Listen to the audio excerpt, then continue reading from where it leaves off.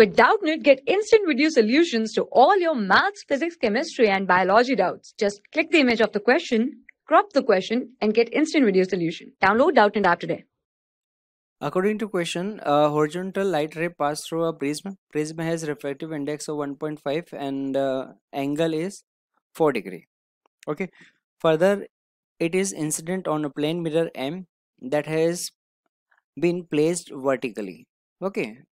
So by uh, by what angle the mirror is to rotate so that ray after reflection become horizontal. Okay. So initial condition we have to find first of all the deviation angle by the prism okay so that deviation angle will be equal to a mu minus 1 that is the deviation angle for the prism okay here a is the prism angle and mu is refractive index of the prism. Okay so deviation angle is equal to uh, 4 degree 1.5 minus 1 okay so we will get deviation angle of 2 degree. So in that condition we can see that uh, that deviation angle of the ray is 2 degree.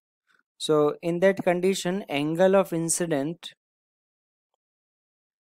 at the mirror is also 2 degree. Okay so we want to that uh, after rotation the incident ray reflected in uh, horizontal direction. So in that condition it is uh, required that uh,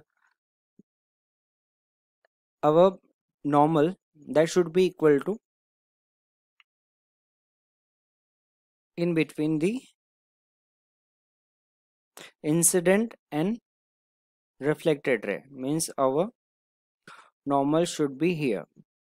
Okay and that angle is 1 degree and that angle is 1 degree. Okay so in case when uh, uh, incident ray makes 1 degree with uh, uh, that mirror in that condition reflected will be horizontal. So we have to rotate that uh, prism sorry rotate uh, that